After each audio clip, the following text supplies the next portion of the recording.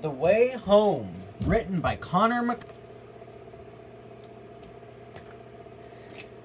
Gator and Samson were working on Sodor. Sir Topham Hatt was, was worried. They'll have to go home soon, he said. I hope my engines can be really useful. Gator was really useful.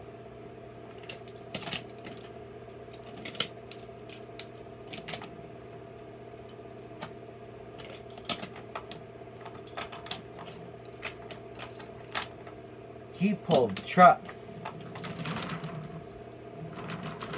Hello, Samson. Are you being really useful? I come to take those trucks to Kirby's Gate, Gator. Right then.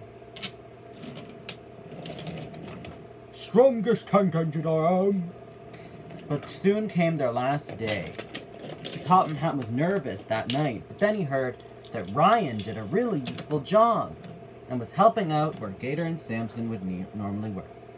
Thank you, Ryan. Yes, sir. Of course, sir. Of course. Oh, we'll miss you on the branch line temporarily, Ryan, said Skiff. Don't worry, I'll be back soon. And Scruff would help too. Radio!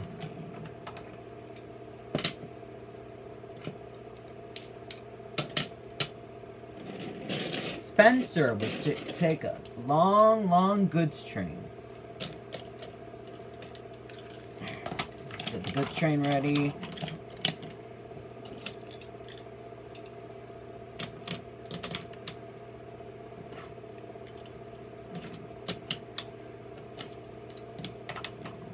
To, from Sodor to the mainland, and he'd be home too.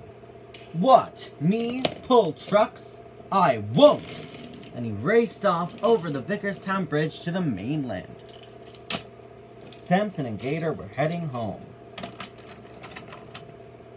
Samson, Gator, I have a job for you, said Sir Topham Hatt. What is it, sir? said Gator. Well, I, I could do it by myself.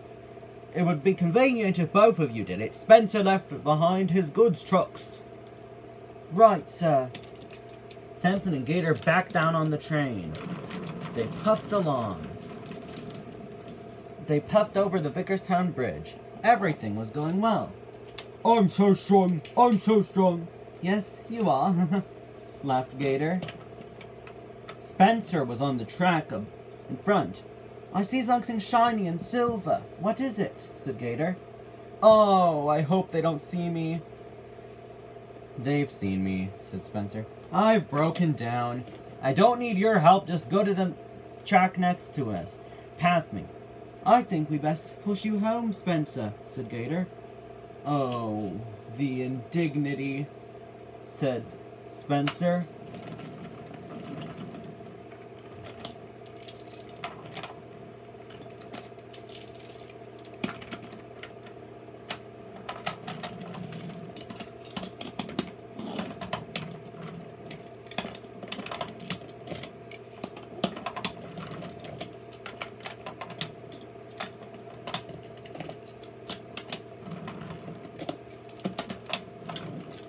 So Gator and Samson pushed Spencer home. Spencer didn't say thank you, but Gator and Samson were happy to be home again. Gator went back to Columbia, and Samson went back, well, he was already back. That's the end of that one.